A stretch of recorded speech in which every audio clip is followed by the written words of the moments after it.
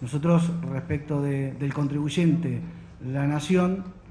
eh, estamos reclamando una deuda que entre capital e intereses supera los 300 millones de pesos para llevar adelante las políticas públicas del Estado, obviamente. Y mm, también advertimos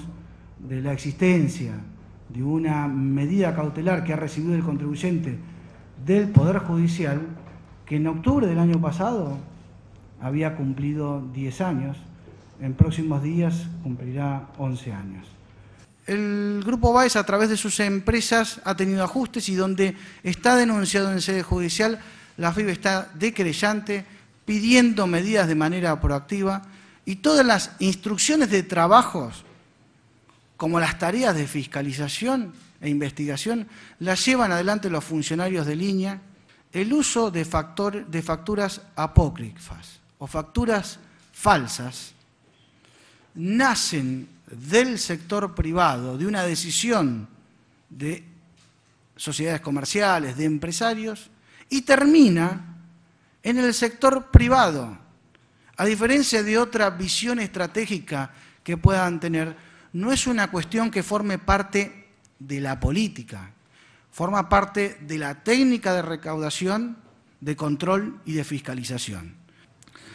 Ante la justicia aproximadamente hay un orden de 750 causas penales, repito, 750 causas penales, eh, donde se está investigando el orden de evasión de los, de los 1.200 millones de pesos. El caso más concreto que volvemos una vez más a insistir,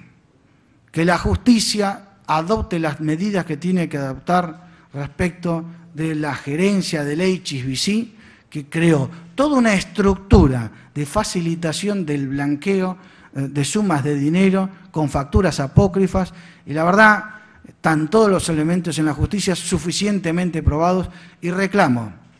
aprovechando esta conferencia de prensa, una vez más, que la justicia tome medidas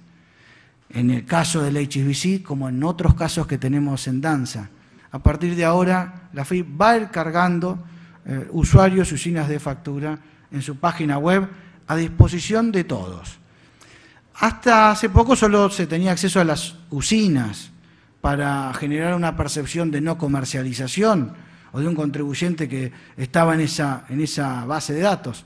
Ahora los usuarios, todos, justifiquen o no justifiquen en sede judicial su situación, van a estar incorporados. Hay acciones que estamos desarrollando para combatir el uso de facturas apócrifas. Eh, y no son acciones menores. Es decir, ustedes tienen un estado activo,